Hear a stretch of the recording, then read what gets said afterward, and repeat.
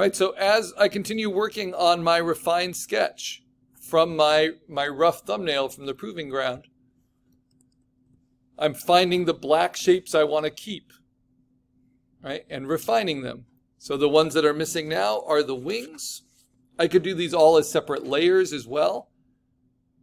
The advantage of doing them as separate layers is then I can play with transform tools to, to play with the proportions.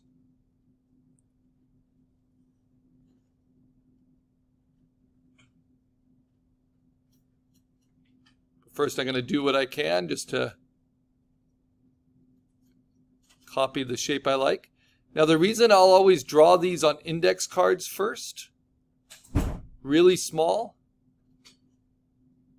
is because for a lot of artists I know, when you draw small traditionally, you know, by hand, it captures kind of an energy to your mark making that's hard to reproduce when you're either drawing larger or you're drawing digitally. Because we tend, when we draw digitally, to be a little stiffer because we're using an interface, you know, like a tablet or a mouse or a trackpad. And that makes us stiffen up more than if we're just using a pencil. Also, when you're drawing digitally, even if it's at a lower resolution, you tend to zoom in and you get stuck in details rather than just the energy of the whole. But if you can do your thumbnail as something that's kind of quick and energetic, then as you refine it, you try to recognize the qualities of that that you want to keep. And then that can be, it can lend that kind of energy to your design.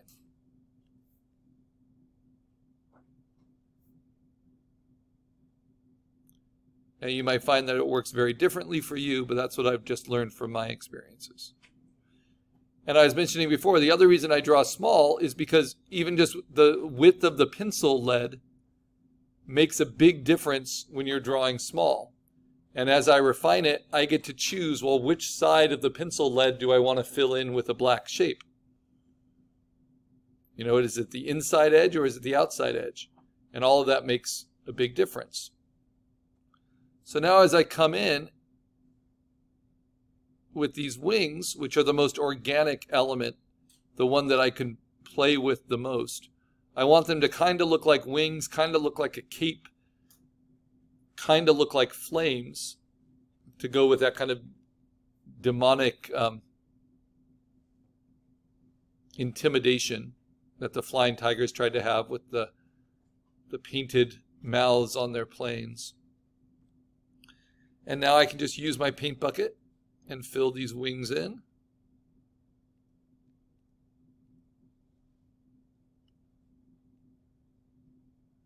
But because they're on separate layers, I can duplicate the wings and then play with Option Command T.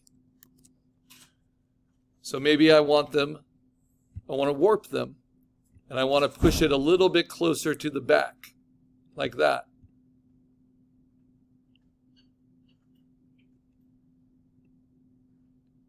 But in the negative space, I really want to get that kind of spine shape. So it's like you get the tiger stripes and you get the wing all together.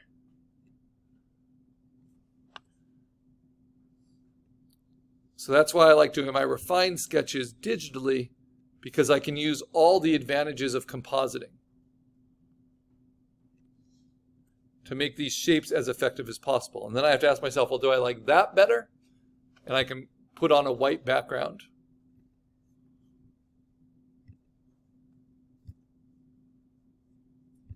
Just with edit fill with white, right? Do I like that better or do I like that better? And I actually didn't think I would, but I think I like that better. And then I could do that with more refined shapes. But I'll be able to keep tinkering with it in that way um, with Illustrator. but I like kind of the goofiness of it. So that's going to be my refined sketch. So what do I do? I'm going to turn off the background so it's just black shapes. And then I'm going to crop it.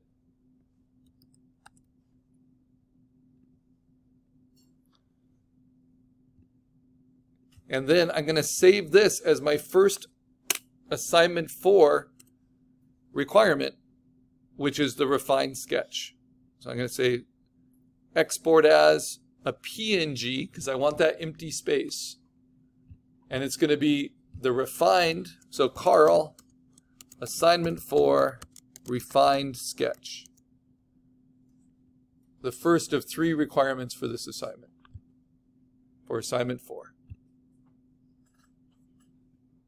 So remember, your refined sketch is choosing which of your thumbnails you want to refine and make better, and then filling them in with black shapes.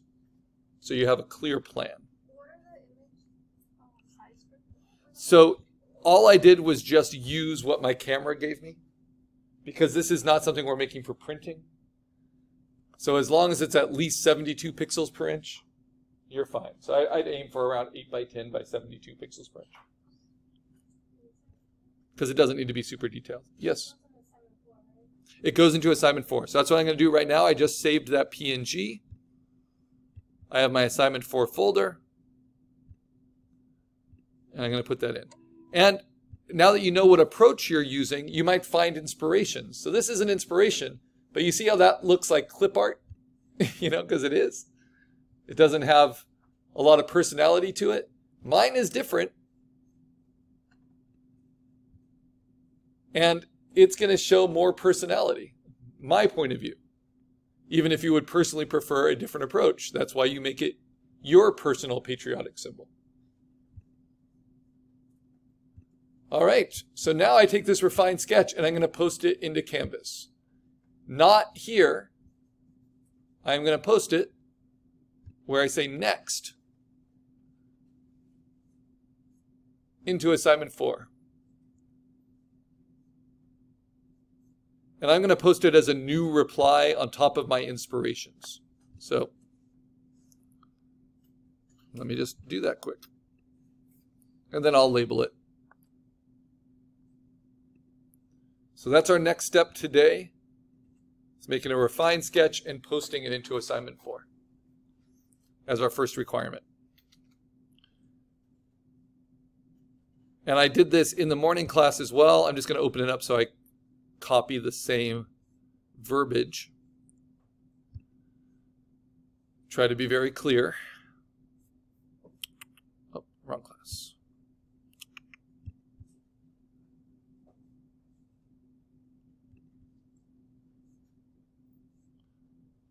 So assignment four you can find from assignments as well, but it's going to be where you post your final logos instead of just posting your thumbnail sketches.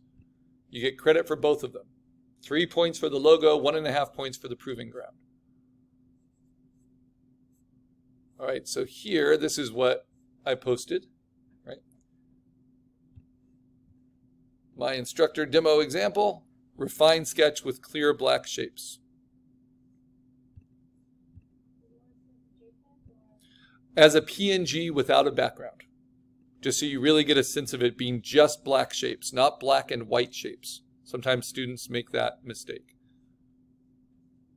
And even though my black out of Photopea is kind of a dark brown, just because it wasn't selecting solid black, that's fine. You still get credit for it if it was a dark blue or anything else. The important thing is that it's one, one pixel color only. So I'm going to go ahead and merge these layers.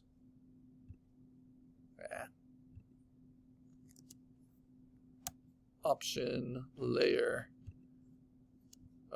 merge visible.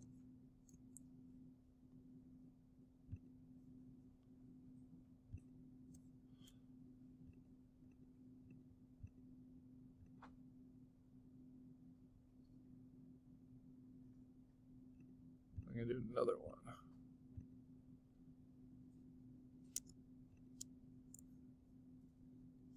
And it's going to show you the kind of subtlety you can work out in your refined sketch so you don't have to worry about it when it comes time for your vectors. So I changed the wings just a little bit.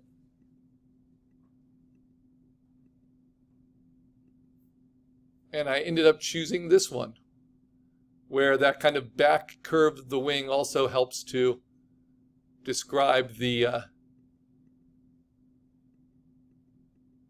the spine of the tiger a little bit better. But now I'm double, I like how even the spacing is there. So I'm going to go back to this one. Now this is my refined sketch, right? So that's why it's nice to have options. So I'm going to save it with the background turned off. Oh no, the, uh, which one?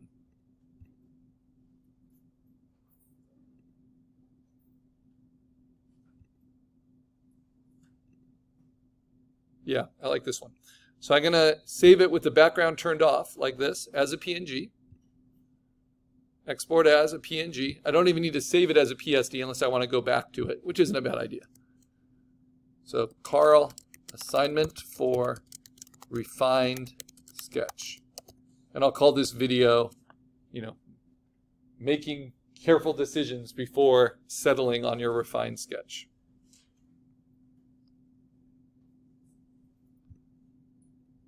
Paying attention to the energy of your own mark making.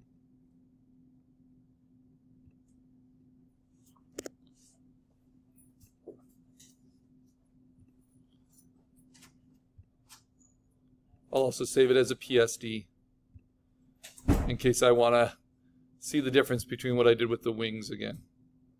So there's the PNG. That's the one I'm going to use. And then the PSD, where did it go? Went to assignment 3. Okay, so now I can close Photopea. Once you have your refined sketch, you're done with it. And I'm going to update this because I changed my mind, which you are allowed to do as you improve your, your idea. Make sure when I see them side by side,